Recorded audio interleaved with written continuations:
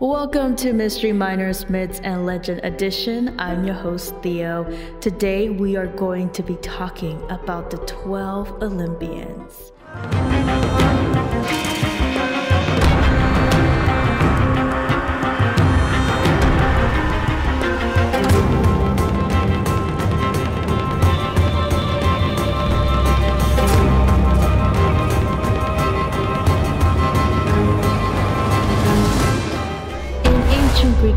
Mythology, 12 Olympian gods and goddesses ruled over human affairs and enjoyed parties, fights, and torrid love affairs from their palace on Mount Olympus. Let's get to know them on today's episode. Before we dive into the world of the 12 Olympians, let's first talk about the brief history of Greek mythology. Greek mythology was more than just bedtime stories. It was a way for ancient Greeks to understand the world around them.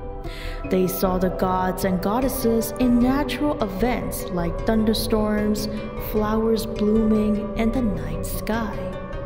Every holiday, month, and celestial body was connected to a deity, linking the Greeks with the divine. The gods and goddesses in Greek mythology were not just characters in stories, they had complex personalities and fascinating tales. These stories went beyond entertainment, they taught morals and explored the concepts of right and wrong. But why is Greek mythology so important? Greek mythology gives us valuable insights into the ideals, religion, and dreams of ancient Greek society. Thanks to the Greek alphabet and the abundance of myths, we now have a deep understanding of Greek civilization compared to other ancient cultures. But Greek mythology isn't just a thing of the past, it still influences our modern world. For example, the mighty god Mars also known as Ares, is honored through the names of both the planet Mars and the month of March. Greek mythology has also given us over 150,000 words still in use today, including terms related to the myths themselves. The world of the 12 Olympian gods and goddesses begins with Zeus.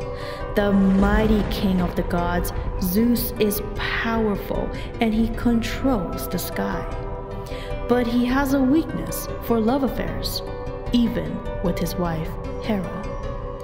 Poseidon, the god of the seas and earthquakes, protects the oceans and is credited with creating horses. Athena, born from Zeus's forehead, embodies wisdom and warfare. Ares, the god of violent warfare, has a fiery temper and is respected for his battle skills. Apollo is the radiant god of the sun, light, music, and healing. He is a skilled musician and also serves as an oracle at the famous Oracle of Delphi, providing predictions and advice. His twin sister Artemis is the goddess of the moon and hunters.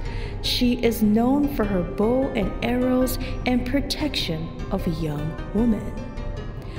Aphrodite is the captivating goddess of love and desire.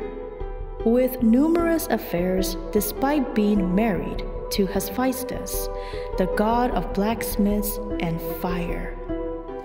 Lastly, we got Hermes, the mischievous messenger of the gods, who swiftly travels through between realms with his winged sandals and helmet.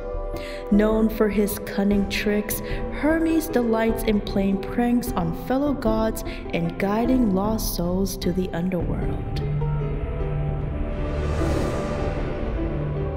Of course, there are many more Greek gods and goddesses up on Mount Olympus. But right now, let's talk about Hades. Hades is an important figure in Greek mythology. He is the god of the underworld and enforcing its laws and punishments down there. Despite not being an Olympian god, Hades played a significant role in Greek mythology and held great power in his domain. He is married to Persephone, the goddess of spring, who became the queen of the underworld after being abducted by Hades and marrying him. Their marriage is complex, as Persephone spends part of the year with Hades in the underworld and the rest with her mother, Demeter, the goddess of harvest, in the world of the living. The myth of Persephone's abduction and return explains the changing seasons of spring, summer, fall, and winter.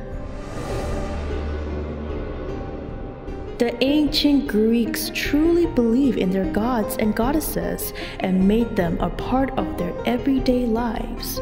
They celebrated festivals, performed rituals, and made sacrifices to honor their gods and goddesses. They even built temples dedicated to them, and some of these temples still exist today. Although Greek mythology is now seen as cautionary tales, there are still some people today who follow the ancient Greek religion, which worships multiple gods and it is called Hellenism. Thank you so much for tuning into Mystery Miners, Myths, and Legends. We got more interesting tales lined up for you. Make sure you come back and join us again.